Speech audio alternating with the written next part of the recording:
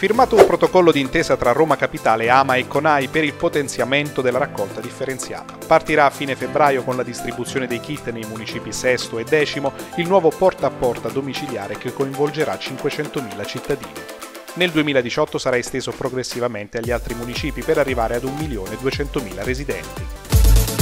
Riparte il ciclo completo di formazione professionale delle scuole arti e mestieri, previsti oltre 100 corsi distribuiti nelle quattro scuole dedicate. Sarà garantita la continuità delle attività formative in un quadro generale di sviluppo del tessuto economico, occupazionale e produttivo, mettendo al centro i cittadini.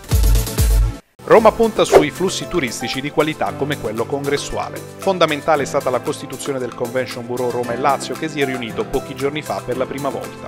Obiettivo far diventare la capitale punto di riferimento dei congressisti, già 40 i nuovi progetti messi in cantiere dagli 86 partner.